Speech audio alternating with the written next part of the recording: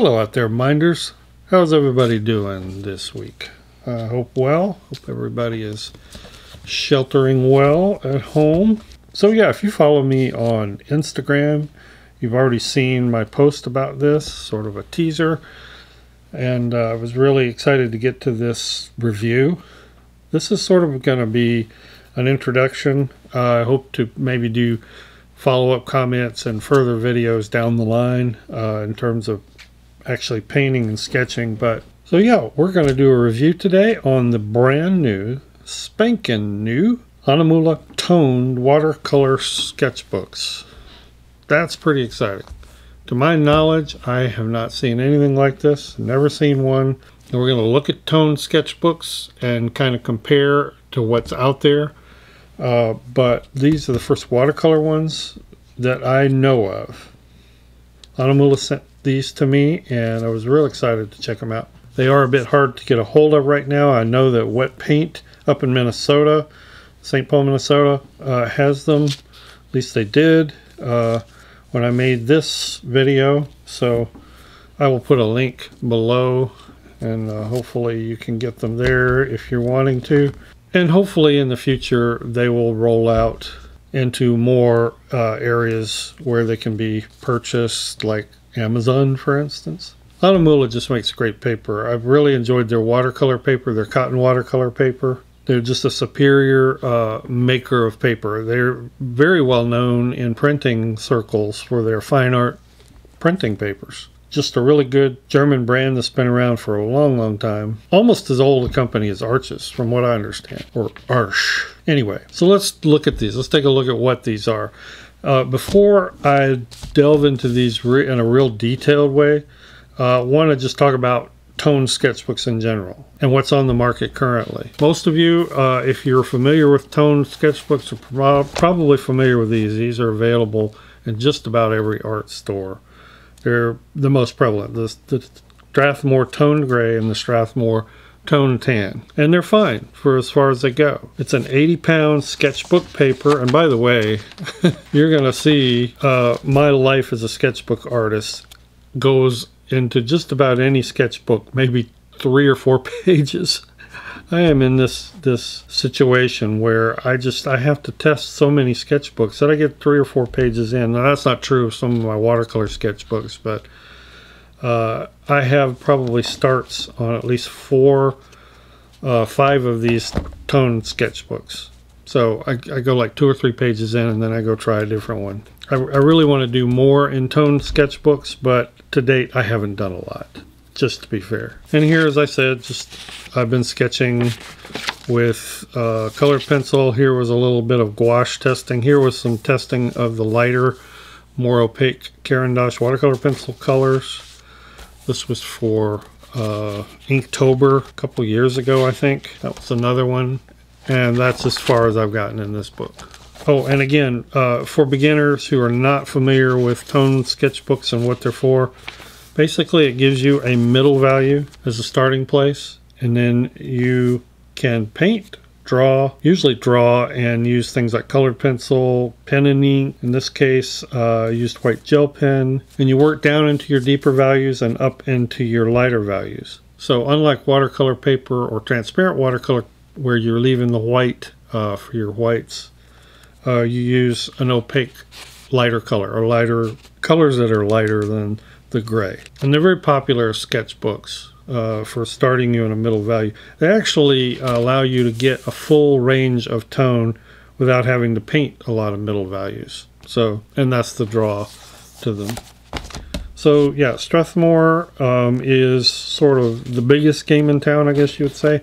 That was the tone gray. This is the tone tan. I've done almost nothing in this. I think I have one piece. Yeah, I did this piece just to try it out. This was for Inktober couple years ago, sort of a little forest thing. And once again, you can see uh, how it works. This was pen and ink, and then uh, I brought up the highlights, in this case with some gel pen and some white colored pencil. So it's easy to quickly get a range of tones without starting white and having to fill in all of these uh, midtones. And Strathmore has them in different sizes. Uh, I believe they even have them in hardcovers. This is a bigger toned gray.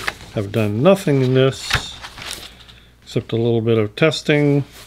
As I started looking at tone tan books, uh, this actually became my favorite.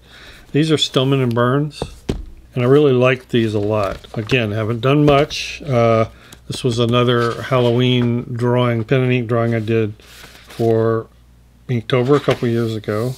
This was some elk studies. This was uh, pen and ink, watercolor pencil. This was a Faber-Castell white marker. And here is some, uh, I think, pastel pencil that was used on this charcoal pencil. So another good example of how these are used. Now, the um, paper in this I, I liked better than the Strathmore, frankly.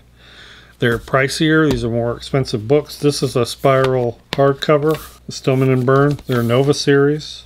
Slightly different color, tan, but almost identical. There, there's more of a fiber, sort of a flannelly looking fiber in the Strathmore. This is is cleaner.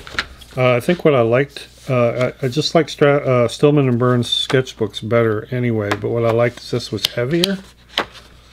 So I was already thinking in terms of painting in this one versus this, which is a little bit lighter.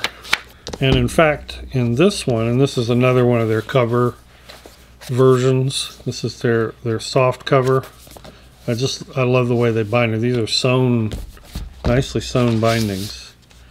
And I've done almost nothing in this one, just, just like the others.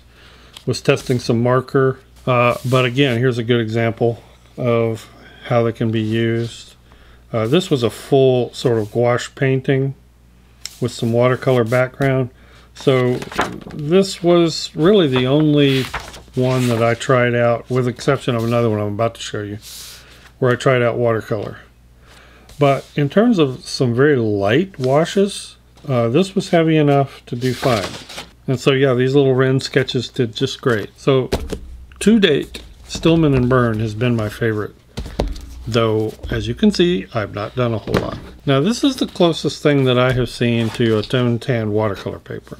This is Strathmore's tone tan mixed media. And as far as I know uh, at least when I bought this uh, it only came in a tear off pad.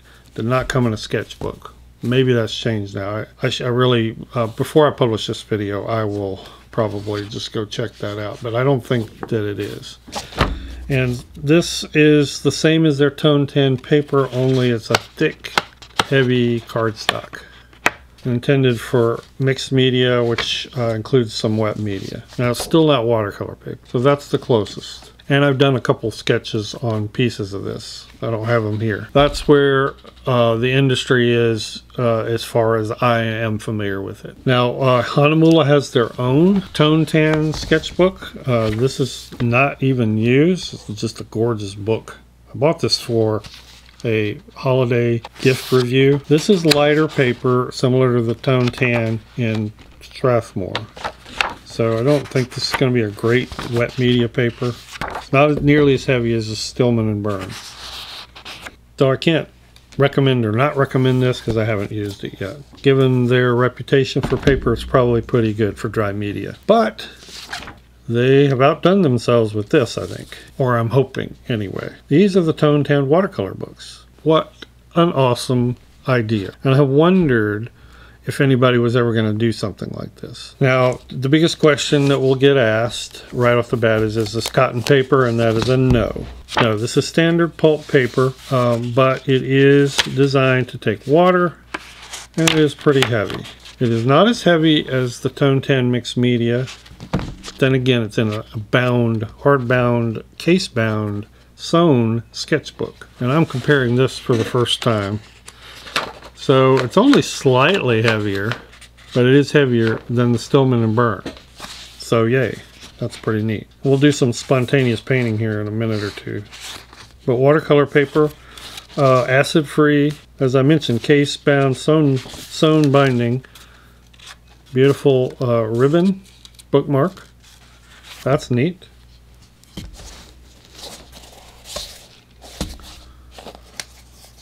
Plastic closures. 200 GSM, which I'm not sure what that translates to about 90 pound, I think. 90, 110 pound paper. This is the gray.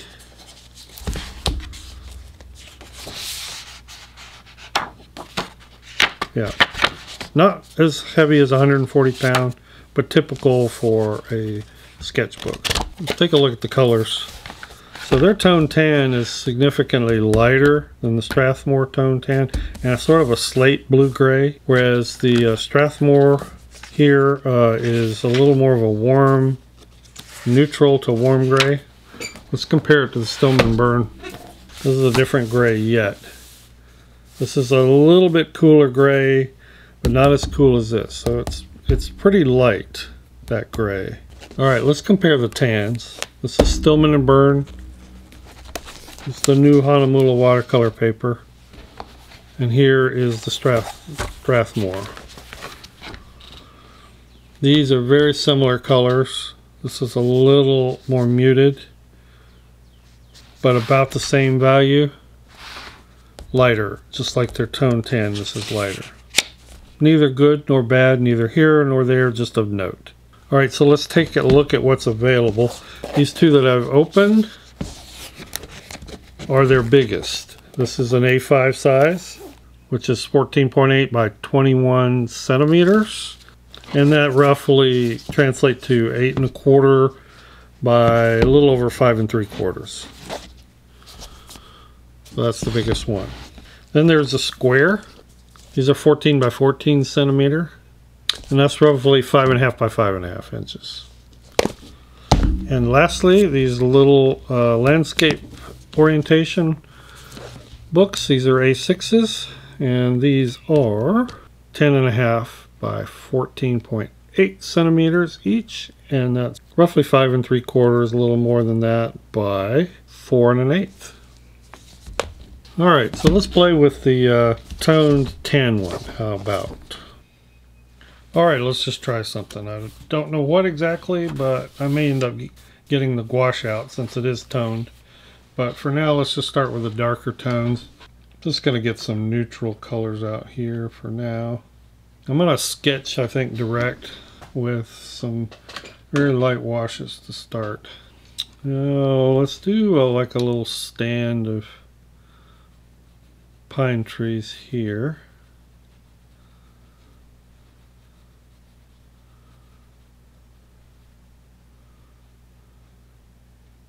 And I'm just trying to pretend I'm out on location, maybe looking at something. This is just, I have no idea what this is going to be. I'm just winging it. And I'm not going to use terribly wet washes, so um, that's one of the tips I would have for you if you use non-cotton paper is you need to paint a little bit drier and don't plan on doing a lot of layering but pulp paper doesn't handle a lot of water very well. Now I will say that that Hahnemühle, I have a couple of uh, Hahnemühle's regular white watercolor sketchbooks, and they're pretty good as pulp paper sketchbooks go. You know, if you've watched this channel for long, you know what a cotton paper snob I am, and I make no apology for it. And in, in normal studio work for transparent watercolor, especially if you use a lot of washes and glazes, you really can't go wrong. But there are ways to paint with cheaper paper, and artists do it all the time, and artists learn on it. Uh, it, it, it definitely is a paper to paint with if that's all you can get. I'm not going to go into that whole debate. I've done a whole video on that, and it's like tons and tons of people have commented on that. It's one of my most viewed videos. Anyway, back to these sketchbooks. We'll do a little bit of a shoreline here, so maybe I can work on a reflection and see what some wet and wet looks like. But I am going to still keep this very, very neutral and uh, very grayish, very muted tones. Let's put in a mount. I probably should have painted this first, but I didn't know I wanted to paint it, so so there.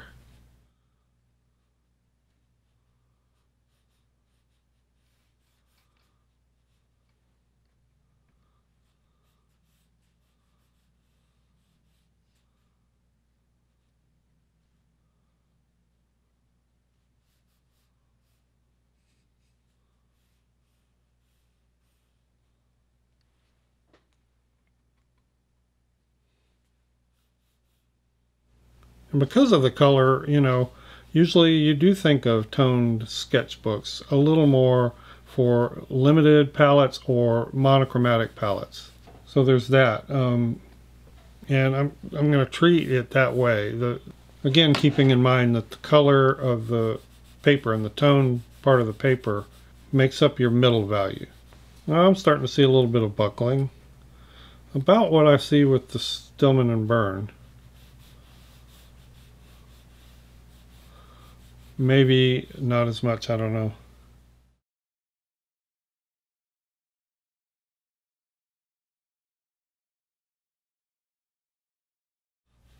let's add, let's establish what might be a water line here.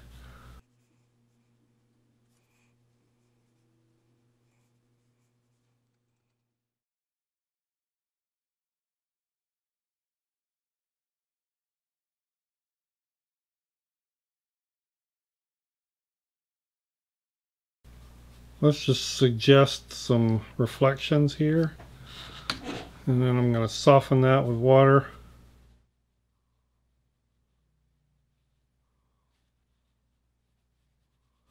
Again, it's as if I'm on location, just doing a quick sketch.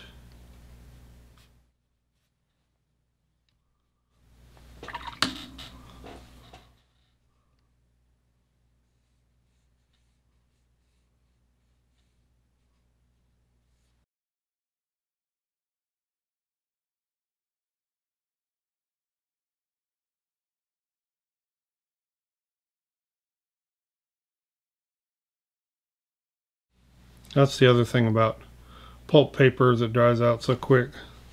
So it doesn't hold those wet washes very long. And you get a lot more backgrounds. But a pretty decent sketchbook paper nevertheless. And usually pulp paper works great. Or just fine, I should say, with gouache. Alright, now usually, typically, what's done a lot with tone sketchbooks is that you go in with an opaque medium and you add your highlights. Now that could be in the case of pencil or pen and ink, that could be gel pen, it could be white marker, it could be colored pencil, white colored pencil, it could be white charcoal pencil, uh, it could be gouache. And that's what I'm going to do is some gouache here.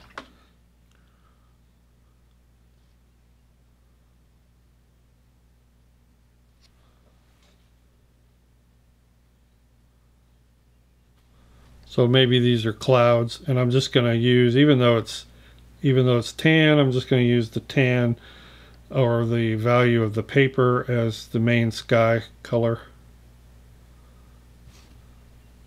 or sky value. This is Holbein gouache, by the way.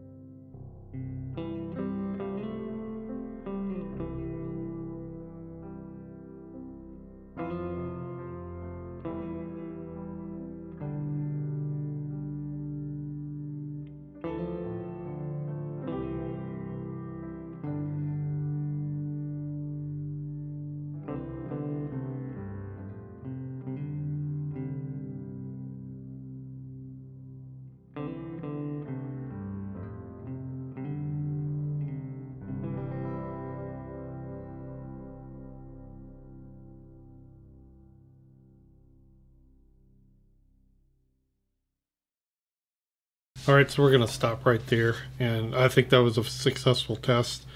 I'm really excited about this paper. I think it's great. It's just a little bit of buckling.